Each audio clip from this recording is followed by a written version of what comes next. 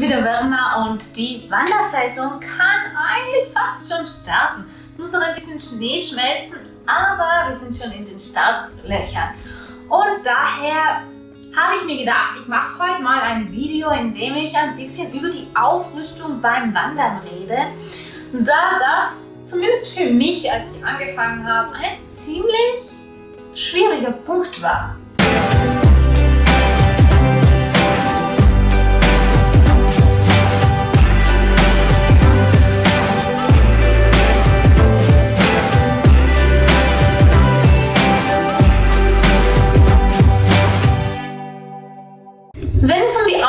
Ausrüstung beim Wandern geht, gibt es ein paar Punkte und Fehler, die ich oft sehe, die ich gerne hätte, dass du sie nicht machst. Und genau diese will ich in diesem Video jetzt ein bisschen ansprechen.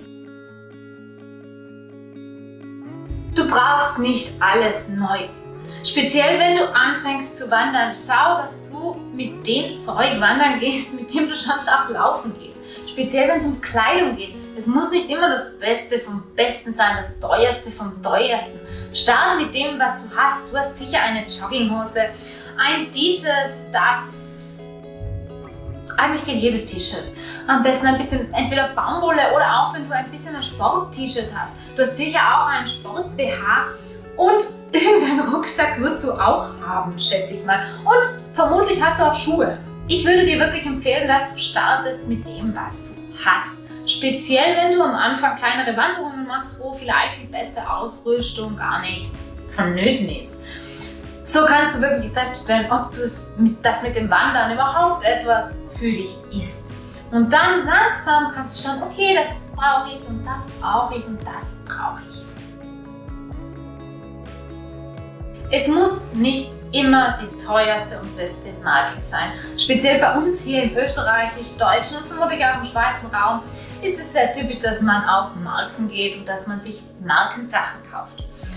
Allerdings, speziell in anderen Kulturen sieht man das nicht so. Zum Beispiel in Spanien kauft man nicht als allererstes ein Markenprodukt.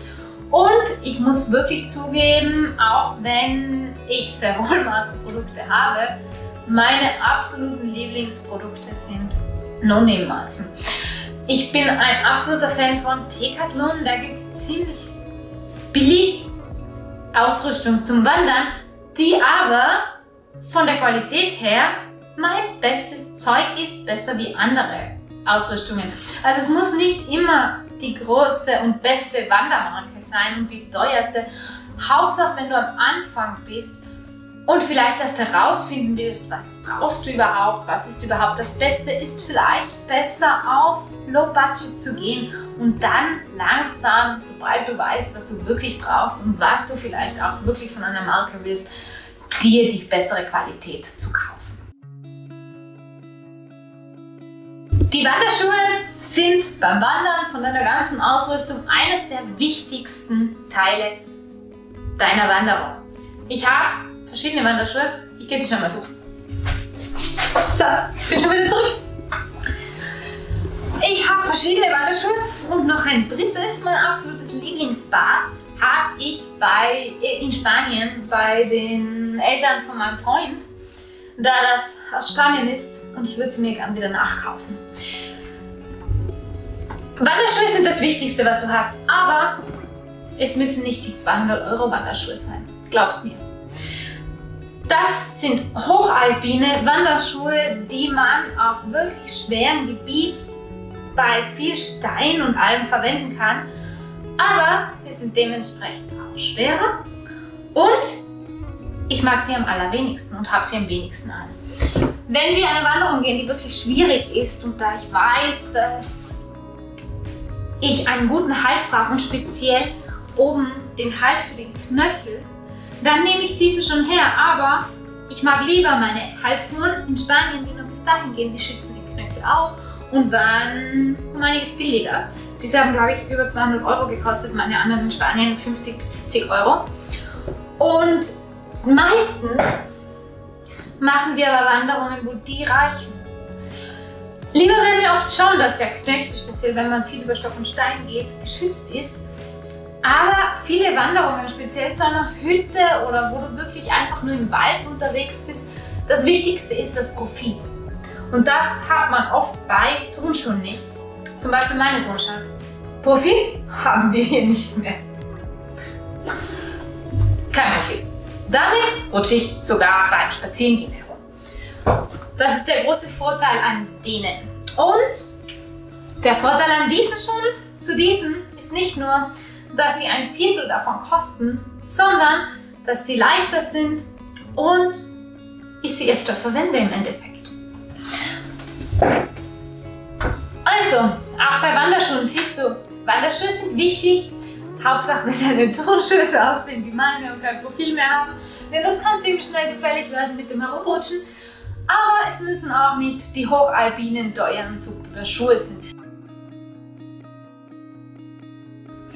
Ein weiterer wichtiger Punkt beim Wandern ist der Rucksack. Und auch hier kauft ihr nicht den 200 Euro Deuter Rucksack. Ich habe ihn, ich verwende ihn einmal im Jahr. Aber du wirst verschiedene Arten von Rucksäcken brauchen. Da je nach Wanderung nimmst du verschiedene Sachen mit und brauchst verschiedene Größen. Mein Standardrucksack ist zum Beispiel der 30 Liter Rucksack, der da drüben liegt, den ich eigentlich überall mitnehme vom Teekathlon. Aber ich mache auch Wanderungen, zum Beispiel wenn wir auf eine Hütte gehen. In Innsbruck hast du den Vorteil, dass du einfach am Nachmittag mal auf eine Hütte gehen kannst zum Kaffee trinken oder ein Bier trinken. Und dann bist du vielleicht eine, zwei Stunden unterwegs. Da brauche ich keinen 30 Liter Rucksack. Da habe ich einen kleinen 10, 20 Liter Rucksack, wo ich genau eine Wasserflasche Platz habe, eine Jacke, falls es kalt wird und mein Handy und eine Geldtasche. Und das war's. Und genau so wirst du irgendwann auch drauf kommen, dass für die eine Wanderung brauchst du mehr, für die andere Wanderung weniger. Ein weiterer wichtiger Tipp, Sonnenschutz. Du bist am Berg, du bist näher der Sonne und du darfst das nicht unterschätzen. Nicht nur vom Eincremen her, du musst dich natürlich überall eincremen, sondern auch Sonnenbrille, und Cappy. Ich habe ein Cappy, das zwar nicht stylisch aussieht, aber meinen Kopf von der Sonne schützt.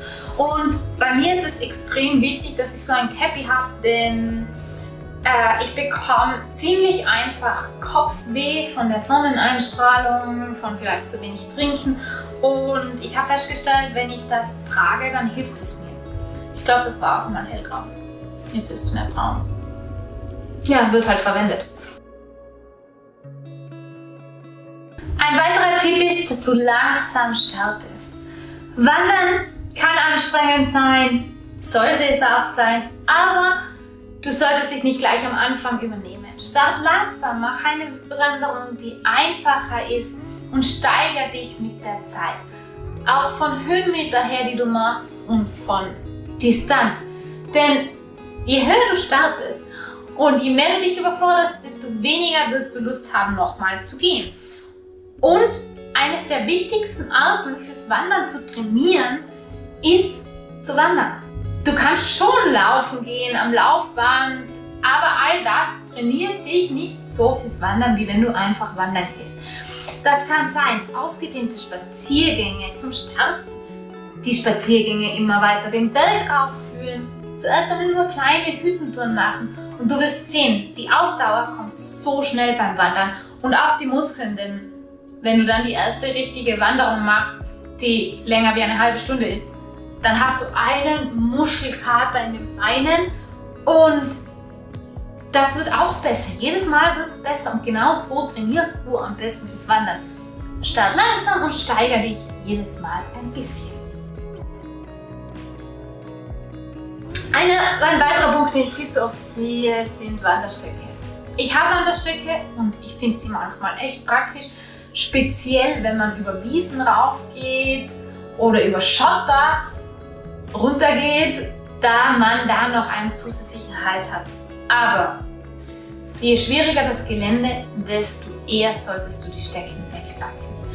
Ich habe so oft gesehen in einem schwierigen Gelände, auf der rechten Seite Wand, auf der linken Abhang, du musst dich über Steine handeln, du musst ein bisschen klettern, also nicht so schwierig, dass es ein Klettersteig ist, aber du brauchst deine Hände.